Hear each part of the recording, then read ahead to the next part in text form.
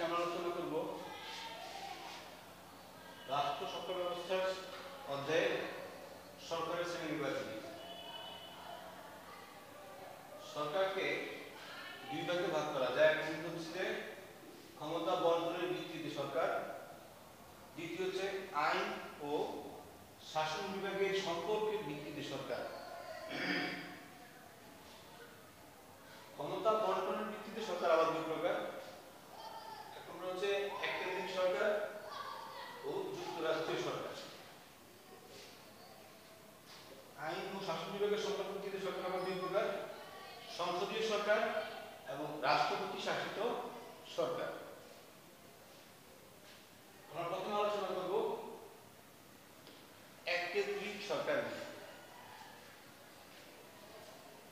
সরকার ব্যবস্থায় সরকারের সকল ক্ষমতা কেন্দ্রীয় সরকারের হাতে ন্যস্ত থাকে বলা হয় এককেন্দ্রিক সরকার। এককেন্দ্রিক সরকার প্রাদেশিক সরকারের কাছে কোনো ক্ষমতা দেয়া হয় না। সম্পূর্ণ ক্ষমতাই এককেন্দ্রিক সরকারের হাতে ন্যস্ত থাকে বা কেন্দ্রের হাতে ন্যস্ত থাকে। সেজন্য কেন্দ্রের সকল সিদ্ধান্ত বাস্তবায়ন করতে সুবিধা হয় এবং যে কোনো সিদ্ধান্ত গ্রহণ করলে সেটা সহজে সারা দেশে ছড়িয়ে পড়া, ছড়িয়ে দেওয়া সম্ভব হয় এবং সেটা সিদ্ধান্ত নিতে খুব সুবিধা হয়। এককেন্দ্রিক সরকার উদাহরণ হচ্ছে যে বাংলাদেশ, জাপান, যুক্তরাজ্য। প্রভৃতি দেশ যেগুলো এককেন্দ্রিক সরকারের উদাহরণ। এককেন্দ্রিক সরকারের কিছু গুণ আছে। এক নম্বর গুণ হচ্ছে যে সহজ সাংগঠনিক ব্যবস্থা। যেহেতু এককেন্দ্রিক সরকারের সকল ক্ষমতা কেন্দ্রের হাতে ন্যস্ত থাকে সেজন্য এককেন্দ্রিক সরকারের কেন্দ্রীয়ভাবে যে কোনো সিদ্ধান্ত নিতে তাকে বেশি সময় নিতে হয় না। খুব দ্রুত সিদ্ধান্ত নেওয়া যায় এবং বাস্তবায়ন করতেও সহজ হয়। এই জন্যই এই এককেন্দ্রিক সরকারের সাংগঠনিক ব্যবস্থা খুব চমৎকার হয়ে যায়। দ্বিতীয়, দায়িত্ব ঐক্যের প্রতি। যেহেতু এখানে প্রাদেশিক বা আঞ্চলিক কোনো সরকার ব্যবস্থা নেই, সম্পূর্ণ ক্ষমতাই থাকে কেন্দ্রের হাতে। সুতরাং কেন্দ্র এবং প্রদেশের মধ্যে কোনো প্রকার দৈরত্ব বা দূরত্ব থাকে না, ফলে সারা দেশের মধ্যে একটা ঐক্যের বন্ধন তৈরি হয়ে যায়।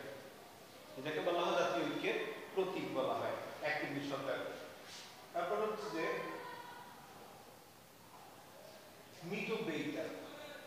মিতব্যয়িতা হচ্ছে যে দুইটা সরকার থাকলে প্রচুর খরচ একটা হচ্ছে কেন্দ্রীয় সরকার এবং প্রাদেশিক সরকার। যেখানে যেহেতু এখানে প্রাদেশিক সরকার থাকে না, সুতরাং এখানে খরচ অনেক কমে যায়। এই জন্য এক কেন্দ্রীয় বলা হয় মিতব্যয়িতার সরকার। দ্রুত সিদ্ধান্ত গ্রহণ করা সম্ভব হয়। একটা গুণ এক কেন্দ্রীয় সরকারের। আর আমরা জানি, যেহেতু এখানে প্রাদেশিক সরকার সাথে কোনো সিদ্ধান্ত নেওয়া সব প্রাদেশিক সরকার নেই। সুতরাং কেন্দ্রীয় সরকার যে সিদ্ধান্ত গ্রহণ করতে কারও পরামর্শ নিতে হয় না। সে একাই সিদ্ধান্ত নিতে পারে। এক সরকারের গুণের পাশাপাশি কিছু ত্রুটিও রয়েছে। এক নম্বর ত্রুটি হচ্ছে যে সরকারের কাজের চাপ। যেহেতু এখানে প্রাদেশিক কোনো সরকার ব্যবস্থা নেই, সুতরাং এক কেন্দ্রিক সরকারকে সকল সিদ্ধান্ত এবং সকল সিদ্ধান্ত বাস্তবায়ন এগুলো একাই করতে হয় এবং যথেষ্ট কাজের চাপ থেকে থাকে দুই নম্বর হচ্ছে যে, স্থানীয় নেতৃত্বের বিকাশের অনুকূল পরিবেশ সৃষ্টি করা। এখানে স্থানীয় নেতৃত্ব বিকাশ বেশি পরিমাণে হয় না, কারণ হচ্ছে যেহেতু সকল ক্ষমতা কেন্দ্রীয় সরকারের হাতেই নিয়ন্ত্রিত থাকে, সুতরাং প্রাদেশিক সরকার এখানে ক্ষমতা থাকে না এবং স্থানীয়ভাবে কোনো নেতৃত্ব তৈরি হওয়ার সুযোগও থাকে না এই এক কেন্দ্রিক সরকারটা বেশিরভাগ ক্ষেত্রে দেখা যায় বড় রাষ্ট্রের জন্য উপযোগী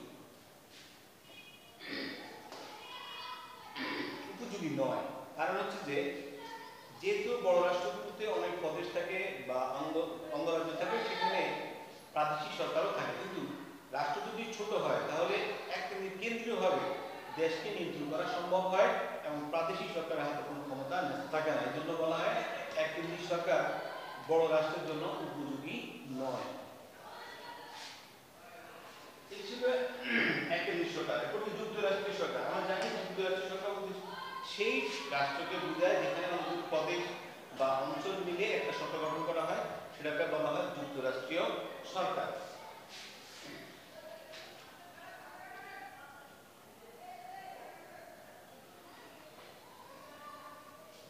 যুক্তরাষ্ট্রের যুক্তরাষ্ট্রীয় সরকারের মধ্যে কেন্দ্র এবং প্রদেশের মধ্যে ক্ষমতা বন্টন করা হয় এবং দুইটা মিলে একটা দেশের সরকার পরিচালিত হয়।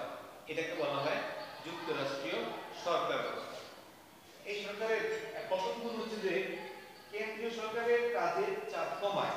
কারণ যেহেতু এই সরকারে আঞ্চলিক সরকার থাকে, সুতরাং এখানে কেন্দ্রীয় সরকারের কাজের চাপ অনেক কমে যায়। সিদ্ধান্ত নিতে তাকে বেশি সময় নিতে হয় না। কারণ হচ্ছে যে আঞ্চলিক সরকার আঞ্চলিকভাবে করে কেন্দ্রীয় সরকার কেন্দ্রীয়ভাবে নিতে পারে। দুই নম্বর হচ্ছে আঞ্চলিক সমস্যার সমাধানের উপযোগী। এই সরকারের যেহেতু আঞ্চলিকভাবেও সরকার থাকে, কেন্দ্রীয়ভাবেও থাকে, সুতরাং আঞ্চলিকভাবে নজর দেওয়ার সুযোগ থাকে বলে এখানে আঞ্চলিক সমস্যাগুলো সমাধান হয়।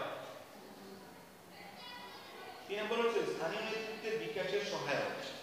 আমরা জানি কেন্দ্রীয় সরকার যেহেতু এক কেন্দ্রীয় সরকার যেহেতু একা ছিল, সেখানে প্রাদেশিক সরকার ছিল না, কিন্তু এই যুক্তরাষ্ট্রীয় সরকারে যেহেতু এক কেন্দ্রীয় এবং প্রাদেশিক, দুইটাই থাকে। সুতরাং প্রাদেশিকভাবে নেতৃত্ব তৈরি হওয়ার একটা সুযোগ তৈরি হয়ে থাকে যুক্তরাষ্ট্রীয় সরকার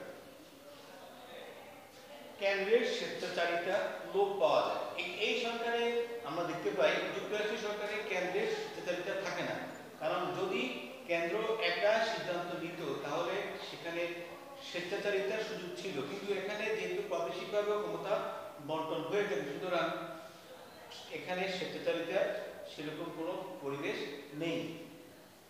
ত্রুটি হচ্ছে যে জটিল প্রকৃতির প্রশাসন যেহেতু দুইটা সরকার ব্যবস্থা, একটা রাষ্ট্রের মধ্যে বিদ্যমান থাকে, একটা কেন্দ্রীয় এবং একটা প্রাদেশিক। সুতরাং এখানে আইন, প্রশাসন সবগুলোই জটিল প্রকৃতির হয়ে থাকে। ক্ষমতার দ্বন্দ্ব।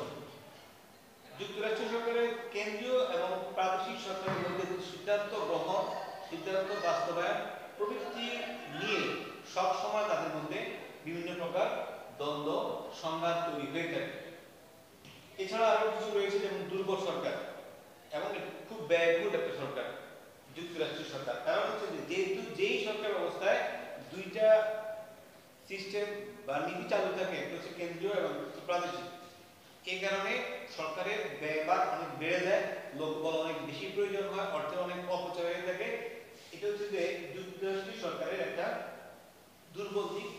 বা ত্রুটি।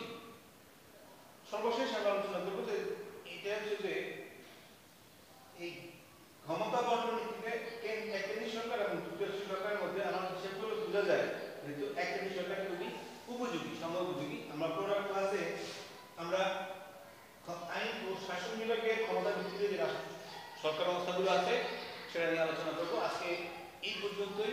আল্লাহ হাফেজ, দেখা হবে ইনশাআল্লাহ। আসসালামু আলাইকুম।